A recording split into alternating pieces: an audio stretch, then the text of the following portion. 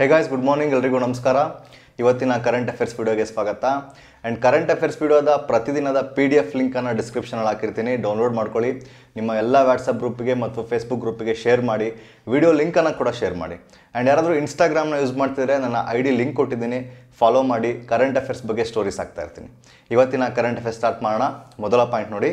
ಇವತ್ತಿನ ಮೊದಲ news sad news ಬ್ಯಾಸ್ಕೆಟ್ಬಾಲ್ನ ಪ್ರಸಿದ್ಧ ಆಟಗಾರ ಕೋಬಿ ಬ್ರೈಂಟ್ ವಿಮಾನ ಅಪಘಾತದಲ್ಲಿ ನಿಧನರಾಗಿದ್ದಾರೆ. ನಿಮಗೆ ಸ್ಪೋರ್ಟ್ಸ್ ಬಗ್ಗೆ ಆಸಕ್ತಿ ಇತ್ತು ಅಂದರೆ, ಅಥವಾ ನಿಮಗೆ ಬ್ಯಾಸ್ಕೆಟ್ಬಾಲ್ ನೋಡುವಂತಹ ಅಭ್ಯಾಸ ಇತ್ತು ಅಂದರೆ ಎನ್ ಬಿ ಎ ಚಾಂಪಿಯನ್ಶಿಪ್ನ ನಿಮಗೆ ಕೋಬಿ ಬ್ರ್ಯಾಂಡ್ ಅವ್ರ ಬಗ್ಗೆ ಪರಿಚಯ ಇರುತ್ತೆ. ಬ್ಯಾಸ್ಕೆಟ್ಬಾಲ್ನಲ್ಲೇ ದಿ ಮೋಸ್ಟ್ ಅಗ್ರೆಸಿವ್ ಪ್ಲೇಯರ್ ಅಂದರೆ ಕೋಬಿ ಬ್ರ್ಯಾಂಡ್ ಅಮೇರಿಕಾ ಮೂಲದ ಲಾಸ್ ಏಂಜಲೀಸ್ನ ಲೇಕರ್ಸ್ ಕ್ಲಬ್ ಪರ ಆಡುವಂತಹ ಆಟಗಾರ ಕೋಬಿ ಬ್ರೈಂಟ್ ನಿಧನರಾಗಿದ್ದಾರೆ. ಇವರಿಗೆ ನಲವತ್ತ ಒಂದು ವರ್ಷ ವಯಸ್ಸಾಗಿತ್ತು. ಆ್ಯಂಡ್ ಇವರ ಸಾಧನೆ ಏನು ಅಂದರೆ ಹದಿನೆಂಟು ಬಾರಿ ಬ್ಯಾಸ್ಕೆಟ್ಬಾಲ್ ಆಲ್ ಸ್ಟಾರ್ ಅವಾರ್ಡ್ ಹದಿನೆಂಟು ಬಾರಿ. ಆ್ಯಂಡ್ ಐದು ಬಾರಿ ಎನ್ ಬಿ ಎ ಚಾಂಪಿಯನ್ಶಿಪ್ ಸಿಕ್ಕಿದೆ ಇವ್ರಿಗೆ. ಎನ್ ಬಿ ಎ ಅಂದರೆ ನ್ಯಾಷನಲ್ ಬ್ಯಾಸ್ಕೆಟ್ಬಾಲ್ ಅಸೋಸಿಯೇಷನ್ ಅಂತ. ಆ್ಯಂಡ್ ಯಾರಾದರೂ ಇವ್ರ ಬಗ್ಗೆ ಗೊತ್ತಿಲ್ಲ ಅಂದರೆ ಸುಮ್ಮನೆ ಯೂಟ್ಯೂಬ್ನಲ್ಲಿ ಕೋಬಿ ಬ್ರ್ಯಾಂಡ್ ಅಂತ ಟೈಪ್ ಮಾಡಿ, ಇವ್ರ ಬಗ್ಗೆ ಒಂದು ಸಾವಿರ ವೀಡಿಯೋಸ್ ಬರುತ್ತೆ. ಅವರ ಆಟದಕ್ಕಿಂತ ಅವರ ಸ್ಪೀಚ್ ಕೇಳಿ, ತುಂಬ ಮೋಟಿವೇಟ್ ಆಗುತ್ತೆ ನಿಮಗೆ. ಪ್ರಸ್ತುತ ಚೀನಾ ವಿಶ್ವದ ಎರಡನೇ ಅತಿದೊಡ್ಡ ಶಸ್ತ್ರಾಸ್ತ್ರ ಮತ್ತು ಆಯುಧ ಉತ್ಪಾದನಾ ದೇಶ.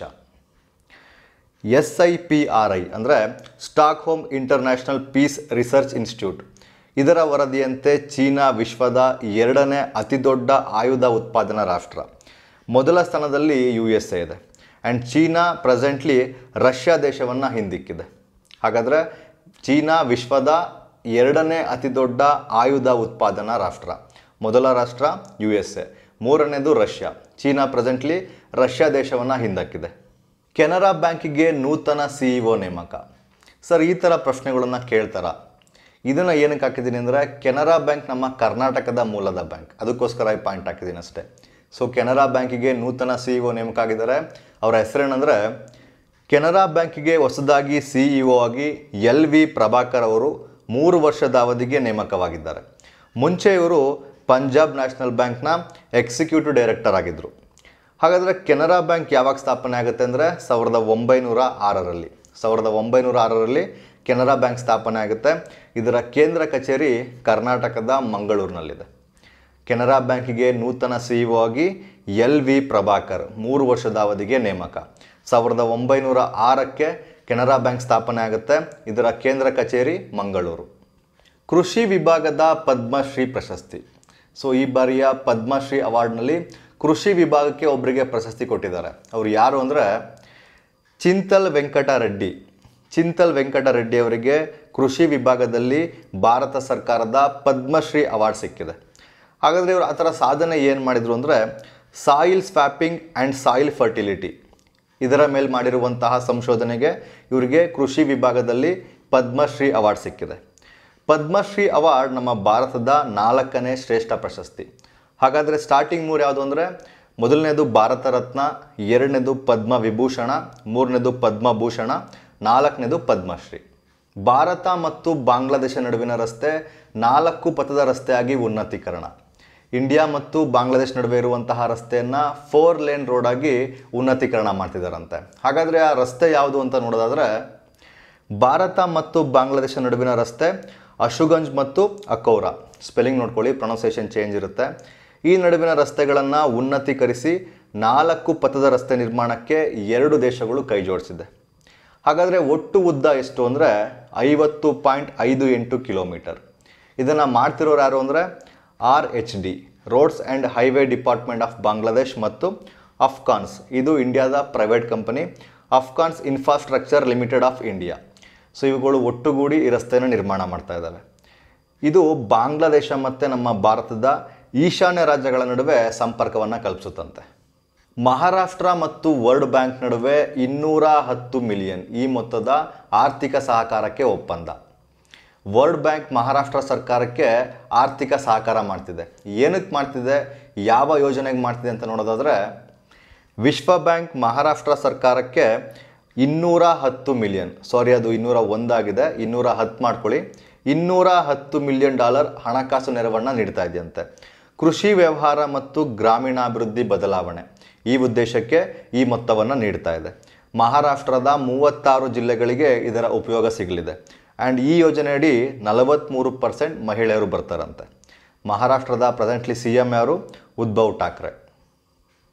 ಕೇಂದ್ರ ಗ್ರಾಮೀಣಾಭಿವೃದ್ಧಿ ಇಲಾಖೆ ಮತ್ತು ಬಿ ಎಂ ಜಿ ಎಫ್ ನಡುವೆ ಒಪ್ಪಂದ. ಹಾಗಾದರೆ ಈ ಬಿ ಎಂ ಜಿ ಎಫ್ ಅಂದರೆ ಏನು? ಇದರ ಫುಲ್ ಫಾರ್ಮ್ ಏನು? ಕೇಂದ್ರ ಗ್ರಾಮೀಣಾಭಿವೃದ್ಧಿ ಇಲಾಖೆ ಬಿ ಎಂ ಜಿ ಎಫ್ ನಡುವೆ ಪರಸ್ಪರ ಒಪ್ಪಂದ ಮಾಡಿಕೊಂಡಿದೆ. ಬಿ ಎಂ ಜಿ ಎಫ್ ಅಂದರೆ Bill and Melinda Gates foundation ಅಂತ. ಬೇಸಿಕಲಿ ಬಿಲ್ ಗೇಟ್ಸ್ ಫೌಂಡೇಶನ್ ಅಂತ. ಯಾವ ಯೋಜನೆಗೆ ಅಂದರೆ D A Y N R L M ಅಂದರೆ ದೀನ್ ದಯಾಳ್ ಅಂತ್ಯೋದಯ ಯೋಜನೆ ನ್ಯಾಷನಲ್ ರೂರಲ್ ಲೈವ್ಲಿಹುಡ್ ಮಿಷನ್ ಈ ಯೋಜನೆಗಾಗಿ ಬಿ ಎಂ ಜಿ ಎಫ್ ನಡುವೆ ಒಪ್ಪಂದ ಮಾಡಿಕೊಂಡಿದೆ. ಹಣಕಾಸಿನ ಒಪ್ಪಂದ. ಏನಕ್ಕೆ ಅಂದರೆ ಬಿಲ್ಗೇಟ್ಸ್ ಫೌಂಡೇಶನ್ ಅವರು ತುಂಬ ಧನ ಸಹಾಯ ಮಾಡ್ತಾ ಇರ್ತಾರೆ ಬೇರೆ ಬೇರೆ ದೇಶಕ್ಕೆ. ಈ ಯೋಜನೆಗೆ ಬಿಲ್ಗೇಟ್ಸ್ ಫೌಂಡೇಶನ್ ಅವರು ಆರ್ಥಿಕ ಸಹಕಾರ ಮಾಡ್ತಾ ಇದ್ದಾರೆ. ಬಿ ಎಂ ಜಿ ಎಫ್ ಇಂದ ಗ್ರಾಮೀಣ ಭಾಗದ ಜೀವನ ಮಟ್ಟ ಸುಧಾರಿಸಲು ಈ ಸಹಕಾರವನ್ನು ನೀಡ್ತಾ ಇದ್ದಾರೆ. ಭಾರತದಿಂದ ಗಾನಾ ದೇಶಕ್ಕೆ ಸಹಾಯ. ಹಾಗಾದರೆ ಭಾರತ ಗಾನಾ ದೇಶಕ್ಕೆ ಯಾವ ವಿಷಯಕ್ಕೆ ಸಂಬಂಧಪಟ್ಟಾಗೆ ಸಹಾಯ ಮಾಡಿದೆ ಅಂದರೆ ಭಾರತದ ಇಂಡಿಯನ್ ಆಯಿಲ್ ಕಾರ್ಪೊರೇಷನ್ ಗಾನಾ ದೇಶದ ಪೆಟ್ರೋಲಿಯಂ ಸಚಿವಾಲಯ, ಇದರ ಜೊತೆ ಪರಸ್ಪರ ಸಹಕಾರದ ಒಪ್ಪಂದಕ್ಕೆ ಸಹಿ ಹಾಕಿದೆಯಂತೆ. ಸೊ ಗಾನಾ ಒಂದು ಆಫ್ರಿಕಾದ ದೇಶ. ಗಾನಾ ಮತ್ತು ಇಂಡಿಯಾ ನಡುವೆ ಪೆಟ್ರೋಲಿಯಂಗೆ ಸಂಬಂಧಪಟ್ಟಾಗೆ ಇಂಡಿಯಾದಿಂದ ಗಾನಾಕ್ಕೆ ಸಹಾಯ ಆಗ್ತಿದೆ. ಗಾನಾದ ರಾಜಧಾನಿ ಯಾವುದು? Accra, A double C R A. ಅಧ್ಯಕ್ಷ ನಾನಾ ಅಕುಫೋ ಅಡ್ಡೋ ಅಂತ. Currency Ghanaian cedi. ಒಂದು ಸೆಡಿ ಅಂದರೆ twelve point seven eight Indian rupees ಅಂತ. ಸೊ ಪ್ರೆಸೆಂಟ್ಲಿ ಇಂಡಿಯಾ ಗಾನಾ ದೇಶಕ್ಕೆ ಪೆಟ್ರೋಲಿಯಂಗೆ ಸಂಬಂಧಪಟ್ಟಾಗೆ ಸಹಾಯವನ್ನು ಮಾಡ್ತಾ ಇದೆ. ಭಾರತದ ಮೊದಲ ಇ ವೇಸ್ಟ್ ಕ್ಲಿನಿಕ್ ಭೂಪಾಲ್ನಲ್ಲಿ ಸ್ಥಾಪನೆ. ಇ ವೇಸ್ಟ್ ಅಂದರೆ ಎಲೆಕ್ಟ್ರಾನಿಕ್ ವೇಸ್ಟ್ ಅಂತ. ಎಲೆಕ್ಟ್ರಾನಿಕ್ ವೇಸ್ಟ್ಗಳನ್ನು ವಿಂಗಡಣೆ ಮಾಡಿ, ಸಂಸ್ಕರಣೆ ಮಾಡುವಂತಹ ಘಟಕ ಭೂಪಾಲ್ನಲ್ಲಿ ಪ್ರಾರಂಭ ಆಗಿದೆ. ಭಾರತದ ಪ್ರಥಮ ಎಲೆಕ್ಟ್ರಾನಿಕ್ ತ್ಯಾಜ್ಯ ಕ್ಲಿನಿಕ್ ಭೂಪಾಲ್ನಲ್ಲಿ ಸ್ಥಾಪನೆ ಆಗಿದೆ. ಎಲೆಕ್ಟ್ರಾನಿಕ್ ತ್ಯಾಜ್ಯವನ್ನು ವಿಂಗಡಣೆ ಮಾಡುವ ಉದ್ದೇಶದಿಂದ ಇದನ್ನು ಸ್ಥಾಪನೆ ಮಾಡಲಾಗಿದೆ. ಅಂದರೆ ಎಲೆಕ್ಟ್ರಾನಿಕ್ ತ್ಯಾಜ್ಯವನ್ನು ವಿಂಗಡಣೆ ಮಾಡಿ, ಸಂಸ್ಕರಣೆ ಮಾಡಿ, ಪುನಃ ಬಳಕೆ ಮಾಡೋದು.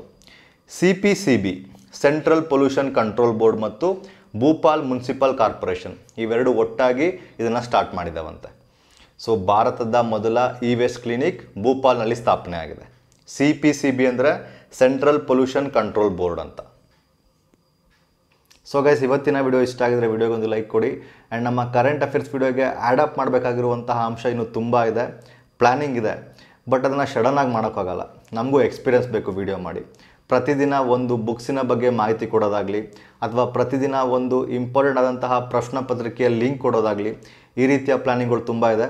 ಬಟ್ ದಿನಗಳು ಕಳಿಬೇಕು. ನಮಗೂ ವಿಡಿಯೋ ಮಾಡಿ ಎಕ್ಸ್ಪೀರಿಯನ್ಸ್ ಆಗಬೇಕು. ಸೊ ಇವತ್ತಿನ ವಿಡಿಯೋ ಇಷ್ಟ ಆಗಿದ್ರೆ ವಿಡಿಯೋಗೊಂದು ಲೈಕ್ ಕೊಡಿ. ನಮ್ಮ ಚಾನಲ್ಗೆ ಸಬ್ಸ್ಕ್ರೈಬ್ ಆಗಿದ್ರೆ ಸಬ್ಸ್ಕ್ರೈಬ್ ಆಗಿ. ಆ್ಯಂಡ್ ತುಂಬ ಜನ ನೋಟಿಫಿಕೇಶನ್ ಬರಲ್ಲ ಅಂತ ಹೇಳ್ತಾರೆ. ಸಬ್ಸ್ಕ್ರೈಬ್ ಆದಮೇಲೆ ಪಕ್ಕದಲ್ಲಿರುವಂತಹ ಬೆಲ್ ಐಕನ್ನ ಕ್ಲಿಕ್ ಮಾಡಿ ನೋಟಿಫಿಕೇಷನ್ ಬರುತ್ತೆ. ಆ್ಯಂಡ್ ನಿಮ್ಮ ಫ್ರೆಂಡ್ಸ್ ಯಾರಾದರೂ ಸ್ಪರ್ಧಾತ್ಮಕ ಪರೀಕ್ಷೆಗಳಿಗೆ ಪ್ರಿಪೇರ್ ಆಗ್ತಿದ್ರೆ ನಮ್ಮ ಚಾನಲ್ ಬಗ್ಗೆ ತಿಳಿಸ್ಕೊಡಿ. ಆ್ಯಂಡ್ ನಮ್ಮ ವಿಡಿಯೋ ಲಿಂಕನ್ನು ಶೇರ್ ಮಾಡಿ. ನಾಳೆ ಬೆಳಗ್ಗೆ ಭೇಟಿ ಹೋಗೋಣ ಥ್ಯಾಂಕ್ ಯು ಸೊ ಮಚ್